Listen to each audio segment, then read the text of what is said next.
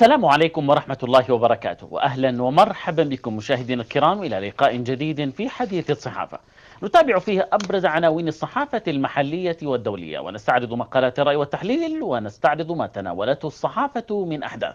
وضيفنا لهذه الحلقة الصحفي صالح الصريمي رئيس تحرير صحيفة الصحافة. ونقرأ أيضا ردود الفعل في مواقع التواصل الاجتماعي لمختلف القضايا والمستجدات على الساحة المحلية والإقليمية. والبداية من صحيفة الثورة. وزير الدفاع الحرب على الإرهاب مفتوحة. هيئة وطنية عليا للعدالة الانتقالية لمعالجة انتهاكات نصف قرن. الإرهاب والفساد يحرمان اليمن تريليون ريال. صحيفة الجمهورية. وزارة النفط لا زيادة في أسعار النفط. البرلمان يؤكد على وضع معايير لتشكيل البعثات الثقافية. بحاح مفاوضات مستمرة مع سويز الفرنسية لتحسين أسعار الغاز. الأمنية العليا تحذر من أي محاولات لاستهداف المواقع العسكرية. صحيفة أخبار اليوم. الشيخ بن غريب اللجنة لا تعنينا والمهلة تنتهي اليوم وهذه يتحمل مسؤولية انقطاع الكهرباء والنفط. إصابة قائد النجدة بشبوة وأربعة من مرافقيه في هجوم مسلح في مفرق الصعيد.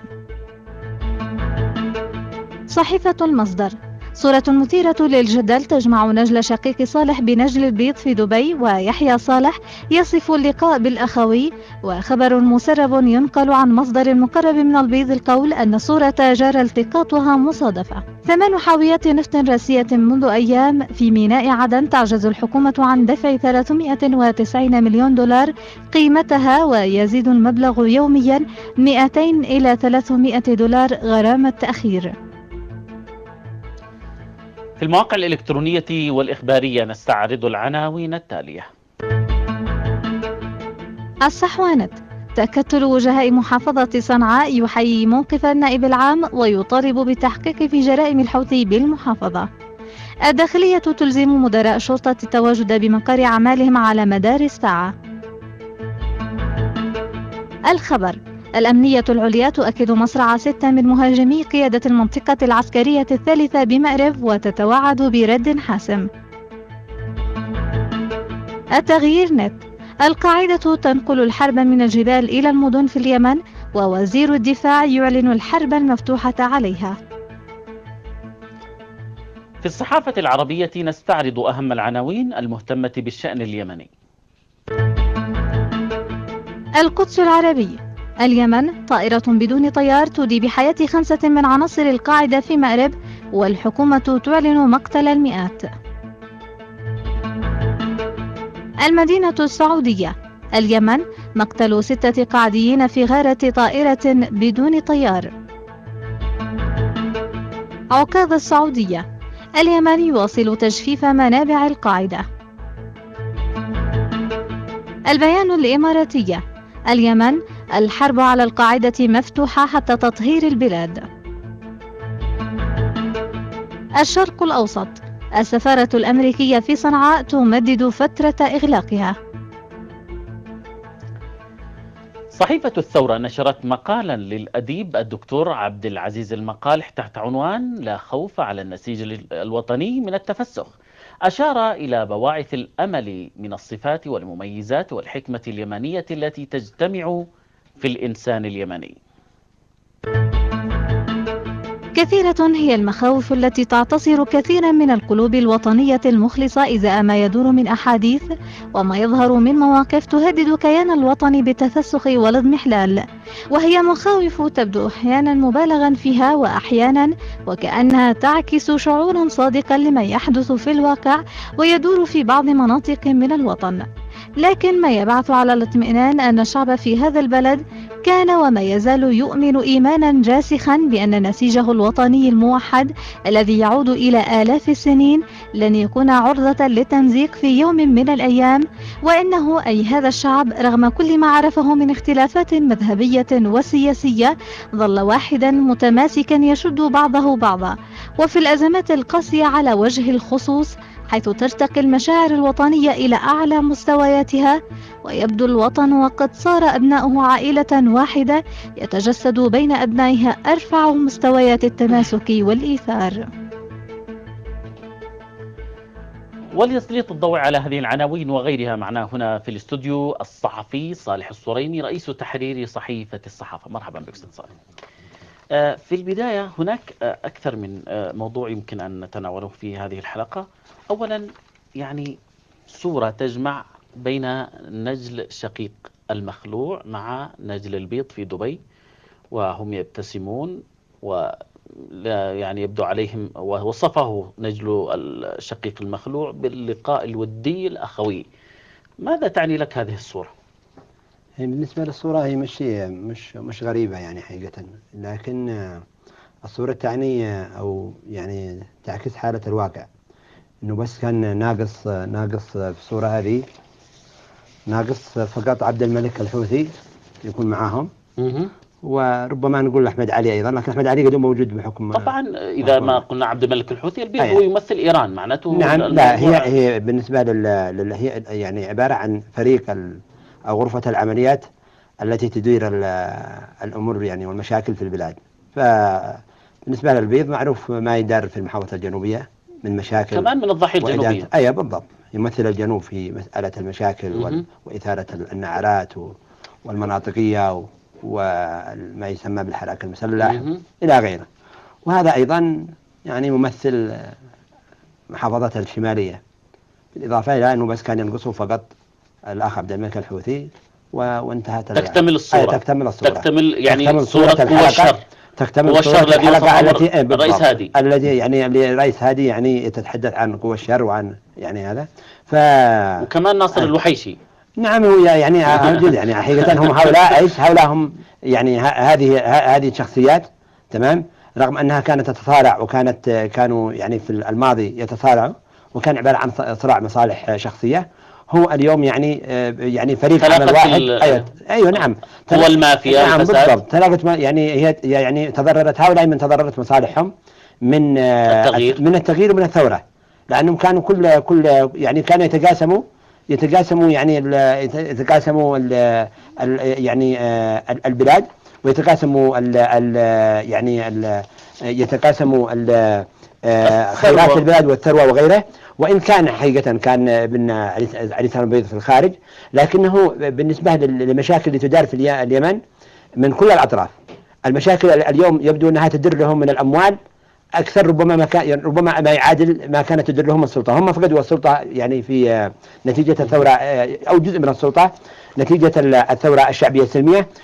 مش أقول جزء من السلطة. بالنسبة لل- للنظام عفوا بالنسبة للنظام للعوائل. اللي عائلة علي سالم البيض وعائلة علي عبد الله صالح. هذه العائلتين بالذ- بالذات فقدت السلطة وهي تعوض اليوم ما فقدته من تعويض من السلطة. من اليوم. نعم بالضبط. عبادة يعني عبارة عنهم آه، آه، فشلوا في إدارة الدولة لكنهم آه، نجحوا في إدارة العصابات المسلحة وعصابات التخريب طيب. في البلاد. وكما قلت لك ينقصهم فقط اللي هو الطرف الثالث اللي هو عبد الملك الحوثي وجماعته. طيب. في عنوان بالأمس فاجأتنا صحيفة الأولى. بعنوان كبير على نعم. صفحتها الأولى نعم. فيها صورة آه، الدكتور صالح سميع وزير الكهرباء مع نجله المهندس ياسر آه، سميح نعم وتقول إنه نجل السميع تاجر مواتير إلى إلى آه، اليوم نشرت رد ياسر المهندس ياسر نعم. الذي كان يعني استورد ثلاثة موا- مواتير ثلاثة نعم. مولدات إيه لثلاث آه، عماير. مباني مباني. تقاولتها شركته الخاصة نعم. للسنو آه، هو ال- الرد يعني أنت أمام خبر كاذب أيه تحدث نعم. عن ثلاث عن سبعة نعم عن سبعة يعني خلاص صحيفة الأولى نست معاناة الناس ال- معاناة طوابير ال- ال- المواطنين على الك- الكه... على الب- البترول انقطاع الكهرباء وغيرها يعني تردي الخدمات. وسلطت الضوء على. على ياسر سميع في نعم. خبر كاذب نعم آه، تبين أنه لثلاث مباني نعم الرد لم اولا آه، آه، نعم. لم يعرض صورة آه، ياسر سميع. ولا حتى. الدكتور وهناك يعني تعدي وتشهير بحق الشخصيات نعم هل يمكن أن تمر هذه ال- الأخبار الكاذبة وال وال والتي تسعى إلى تشهير الشخصيات بهذه الطريقة ال- ال- نعم. الرخيصة هل يمكن أن تمر مرور الكرام؟ آه هي حقيقة ما يحدث لل- بغض النظر عن المشاكل آه يعني بداية آه المواطن يعرف جيدا أنه مهمة ال- مهمة ال- وزير الكهرباء هي إيصال الكهرباء. نعم. هذا كبداية. أنه مهمة الوزير إيصال الكهرباء للمنازل وإيصال خدمة الكهرباء. للمواطنين. نعم. وليس مهمة الوزير ال- ال- ال- ال- الأخ نعم. وزير الكهرباء لا حماية أبراج الكهرباء ولا أيضا ملاحقة المخربين. هذه مهمة جهات أمنية ووزارة الدفاع. يعني نكون يعني منصفين على الأقل تمام؟ الوزير يعني الوزارة مجرد أن ينقطع الكهرباء حالة طوارئ لإعادتها هذا هو عملها. وبالتالي الوزارة تقوم بعملها. إذا إذا ضمننا أنه ما فيش انقطاع يعني ما فيش اعتداء على هذه الأبراج إذا كان نضمن وصال الكهرباء ما دام في اعتداء طبيعي جدا لو كان الوزير ملك نزل من السماء. يعني الإشكالية ستظ- ستظل موجودة. أما بالنسبة للحملة للحملة ضد الدكتور صالح سميع ضد أيوه والتشكيك هي وهي مش ضد الدكتور صالح سميع. هي ال ال في الصحف اليومية المدعومة من آه، علي عبد الله صالح ونجده والحوثي كمان. تمام؟ والحوثي. هذه الصحف هي تستهدف ثلاثة وزراء فقط في الحكومة. وتنسى سبع آه، يعني آه، يعني ثلاثة وزراء عندك آه، 29 نعم. لا أو أكثر من أكثر. 26 أكثر يعني. 29 أيوه يعني يعني حوالي 30 وزير. ثلاثة وزراء شغالة فيهم واصل. الدكتور صالح سم- سميع لا يستهدف على أساس إن نجله يعني الثورة ثلاثة مواتير على لشركة مقاولات. هو يشتغل أصلا أو أو شركة تابعة له من 2007 قبل تمام؟ أن- آه، نعم بالفعل. الشركة هي تابعة لياسر يعني الثورة ثلاثة ثلاثة آه، مولدات كهرباء. طيب بالله عليك الأخوة في في هذه الصحيفة. صحيفة في, صحف إخواننا في المؤتمر الشعبي العام.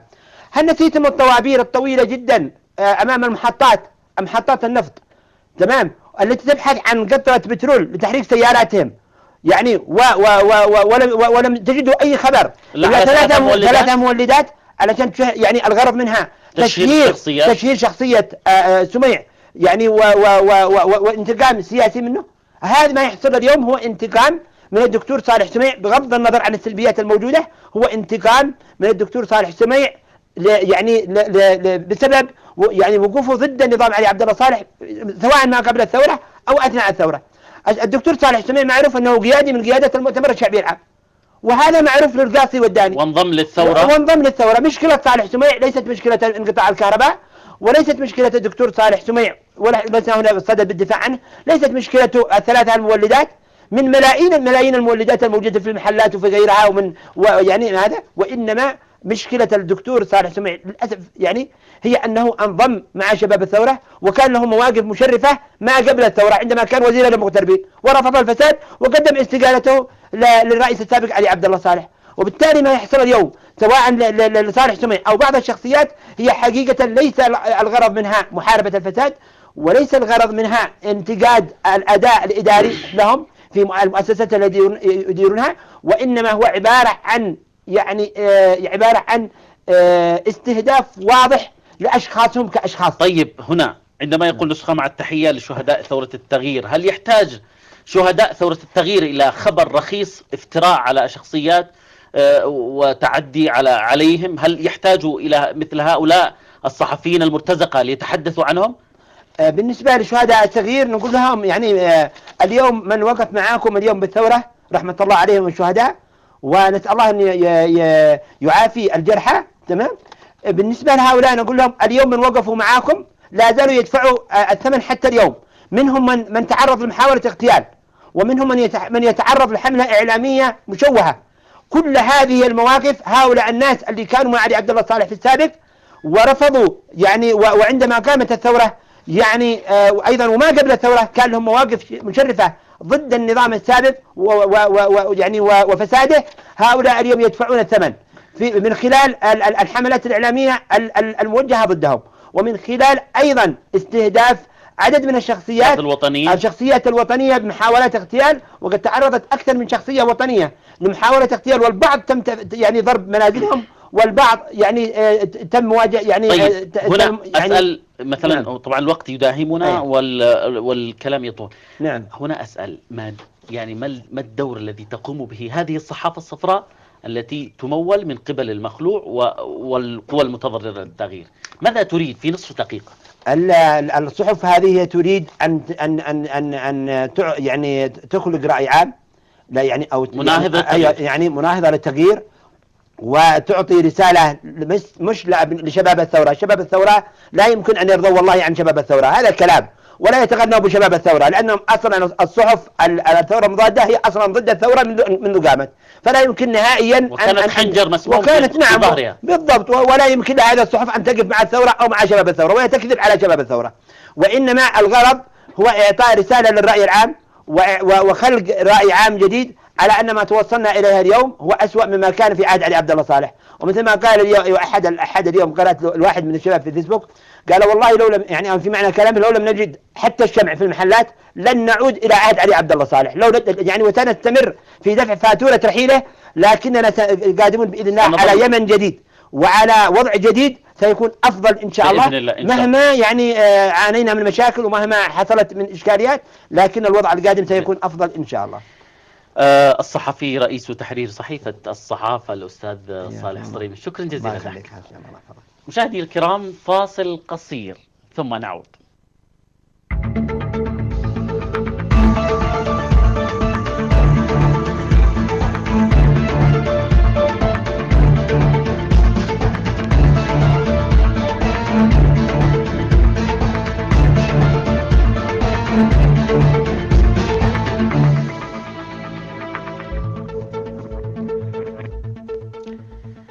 إلى الصحافة الجديدة والبداية من الرئيس عبد الرب منصور هادي وعلى صفحته في الفيسبوك كتب عن مخرجات الحوار الوطني. نتابع. لقد مثلت مخرجات الحوار حلولا جذرية وواقعية ومنصفة لتسع قضايا وطنية كبيرة. كانت القضية الجنوبية وقضية الوحدة الوطنية على رأسها. كما مثلت هذه المخرجات في الوقت ذاته الأسس الصحيحة الأنسب لبناء الدولة اليمنية المدنية الحديثة التي كانت وما تزال غاية الشعب اليمني كله من ثوراته ومطالباته وتضحياته من أجل التغيير. لقد جاءت مخرجات الحوار الوطني بمثابة صياغة معاصرة لمشروع الوحدة اليمنية على أساس اتحادي ديمقراطي يضمن العدالة والمساواة والإنصاف لكل أبناء اليمن في دولة جديدة على مبادئ الحكم الرشيد بعد أن تعالج السلبيات وترد المظالم ويجبر الضرر كشروط ضرورية لبدء شراكة وطنية حقيقية بالثروة والسلطة. الدكتور صالح السنباني النائب البرلماني على صفحته في الفيسبوك كتب عن رفع الدعم عن المشتقات النفطية وموقف الكتلة البرلمانية للتجمع اليمني للإصلاح. نتابع. تتبادل بعض المواقع شائعة رفع الدعم عن المشتقات النفطية كما تناولتها بعض الأحزاب وفي مقدمتها حزب المؤتمر الشعبي العام محاولين إلصاق رفع الدعم عن المشتقات النفطية بالتجمع اليمني للإصلاح وتناسى هؤلاء بأن حكومة الوفاق الوطني يشكل المؤتمر فيه ما نسبته 50% وليس للإصلاح إلا ما نسبته 8.5% لكنهم كعادتهم يلصقون كل نقص بالآخرين ولهؤلاء نقول يقول بأن كتلة الإصلاح في مجلس النواب قد وقفت موقفا جادا إزاء هذه القضية منحازة إلى الشعب الذي سيتجرع مرارة رفع الدعم عن المشتقات النفطية.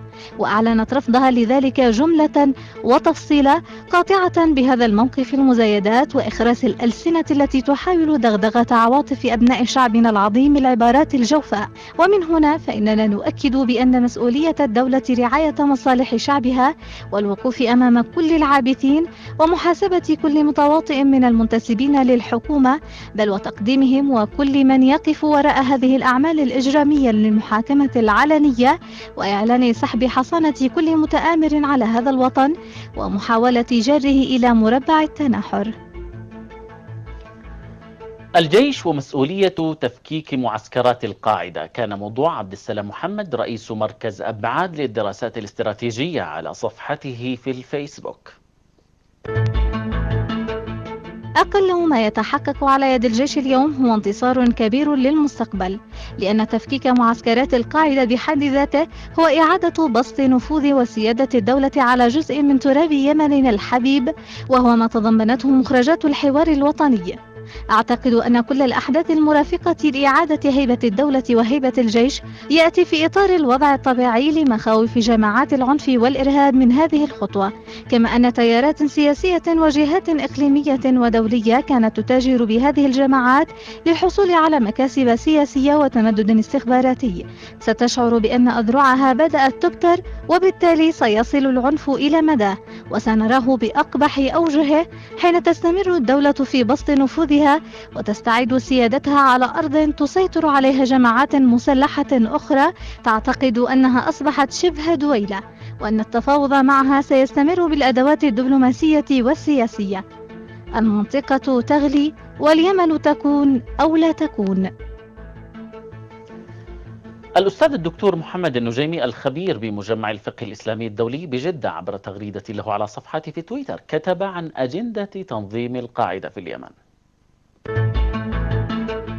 ما تفعله القاعدة في اليمن من قتل الأبرياء وتدمير أجهزة الدولة يسمح بمزيد من التدخل في اليمن بطائرات بدون طيار وغيرها ويؤدي ذلك لتدمير الأبرياء. الدكتور محمد الأفندي عبر تغريدة له على صفحته في تويتر كتب عن التوافق الإيجابي في اليمن. نتابع. التوافق الإيجابي هو الطريق الذي أنجح الحوار الوطني ومن يريد إسقاطه لا يريد تنفيذ مخرجات الحوار. بإمكانكم مشاهدينا الكرام المشاركة في فقرة الصحافة الجديدة على صفحتنا في الفيسبوك حديث الصحافة. ومتابعة حلقات البرنامج على الصفحة ذاتها وعلى موقع القناة على الإنترنت سهيل دوت نت. وعلى صفحات القناة في مواقع التواصل الاجتماعي الفيسبوك وتويتر واليوتيوب. إلى هنا نكون قد وصلنا إلى نهاية لقاء حديث الصحافة لهذا اليوم. في أمان الله.